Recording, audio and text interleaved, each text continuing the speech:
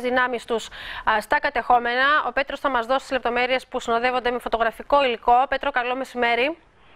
Καλό μεσημέρι. Εγώ, οι πληροφορίες που συνοδεύουν το φωτογραφικό υλικό είναι ότι αντί βατικά σκάφη παραδόθηκαν τα τελευταία 48 ώρα στην κατεχόμενη Κερίνια. Διακρίνονται Τούρκια αξιωματικοί να επιβιβάζονται σε κάθε πλοίο, ενώ σε μια άλλη φωτογραφία φαίνεται καθαρά το άγημα του τουρκικού ναυτικού να αποδίδει ποινέ. Στις ελεύθερες περιοχές τώρα και συγκεκριμένα στο Γενικό Επιτελείο Εθνικής Φρόντ, εκτιμώ ότι ενδεχομένως η παρουσία των τουρκικών πλοίων να σχετίζεται με αντικατάσταση στρατιωτικού υλικού που συμβαίνει όπω μας έχει λεχθεί χαρακτηριστικά κατά διαστήματα προς τα κατεχόμενα.